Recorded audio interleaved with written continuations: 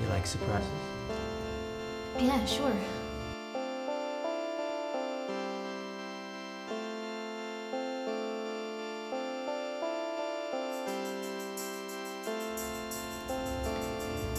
I like the touch of a woman, but the feel of a man.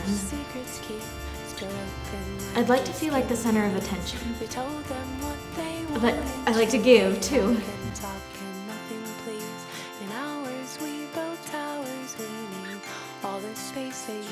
Free. In hours we